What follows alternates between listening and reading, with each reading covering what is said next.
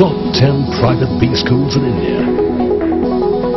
Our focus is on cutting edge domain knowledge and benchmarking with world-class businesses. Big Tech. Excellence with values.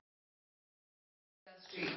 As everyone knows that the film industry has grown uh, from what it started with in 45 probably uh, to the time when men would be enacting women's roles.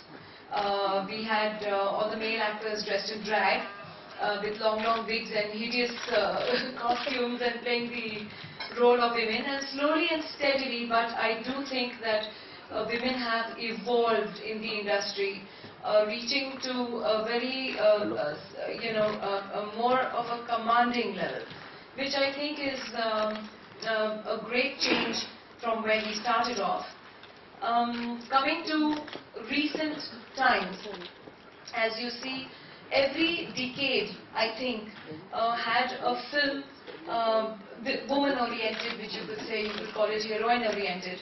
Every decade had one film that left a mark. Right from the time, if you saw Jhansi Ki Rani, from the black and white era, you saw an Anarkali, you saw Mughal Azam, you saw Mother India. Coming down to more um, I'm jumping straight to the 90s then, because like I said, it's a long story. Coming to the time when I was working, I did films like Satta, Daman, Shool, uh, which were very uh, strong women characters that I did play. Um, some of them murdering ones, so please don't follow that one. That's not the strength I'm talking about. But uh, generally, as in showing uh, empowerment of women, empowering women in their own right. Um, and that is what I think uh, is now uh, still the very trend. If you see in recent times, there was a Mary Kom, uh, you know, um, uh, there was um, a Kahani, there was um, um, there was NH10, there was uh, the film that I'm doing now as well. Um, it's sorry to break the little bubble, but it's not murder. It's not It it's Maatr. it's Maatr.